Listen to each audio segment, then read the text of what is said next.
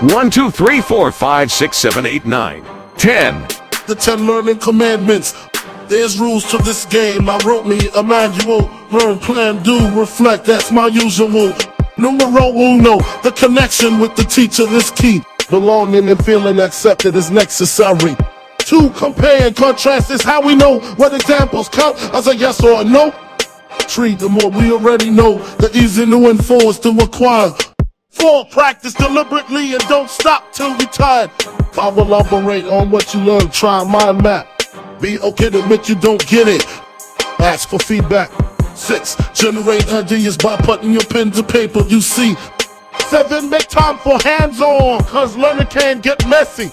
Eight, let your imagination soar. Nine, keep asking for help. Nobody's keeping score. 10. Review what you learn and spaced out sessions over time. That's it, my daughter. Remember to share and give, cause nothing in the end is mine. It's all a blessing, that's the lesson. One, two, three, four, five, six, seven, eight, nine, ten. The 10 learning commandments.